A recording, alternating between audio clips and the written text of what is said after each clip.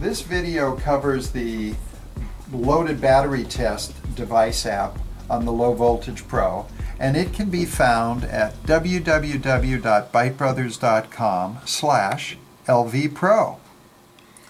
Now, this is one of a number of device apps that can help you during your everyday workday. And what we're going to do here is we're going to test by getting one of our adapter clips here to see if this battery that is used to power an alarm system in a residence is still good.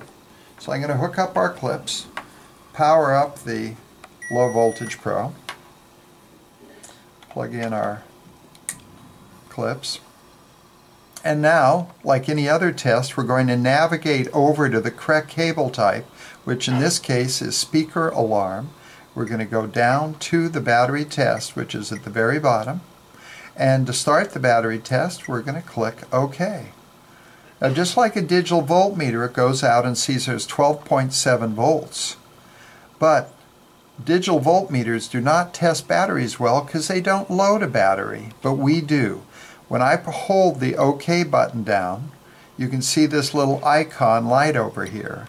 And when it does, it means it's putting a 100 milliamp load on the battery. Not a huge load, but a load to see if it's going to drop voltage or if it can hold voltage while still providing 100 milliamps. In this particular case, you can see the battery's holding just fine without load, so we have a good battery. And like all other low voltage pro tests, to stop, we just press the exit key. Thank you.